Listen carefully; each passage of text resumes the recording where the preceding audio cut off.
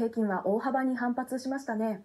そうですね今日はあの引けにかけてですね、まあ、あの5番に入ってですねこう上げ幅拡大するような流れになりまして、まあ、今日1日の引け方としてもですねあのいい引け方だったというふうに思います。であの背景にはですねやはりあのアメリカの財務長官ですね、えー、ムニューシン財務長官の、まあ、税制改革に関するですねこう発言であったり、まあ、あとあのダラス連銀総裁のですね、えー、年3回利上げのですねこう発言であったりですね、まあ、こういったところの当局者の発言を受けてですね、まあ、政策への期待感が高まって、えー、まあ、このところのですねあのアメリカの長期金利低下あの円高という流れに歯止めがかかったことがですね、まあ、今日の日本株の見直し買いにつながったというふうに思います。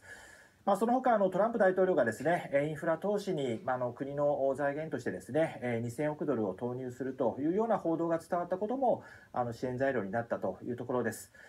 でやはりあの日本株に関してですねこう見逃せないのはこう海外勢の売り圧力がですねあのかなり和らいできたということですよね。あの昨日発表になりましたあの主体別動向を見ましても海外勢はですね現物を2週連続でこれ買い越しになってきています。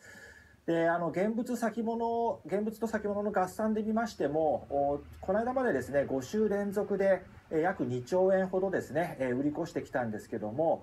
先週はですね、ようやくそれが止まって6週ぶりに買い越しに転じてきているということですから、まあ、どうやら海外勢の日本株売りというのが、あの、峠を越えたようだというところだと思います。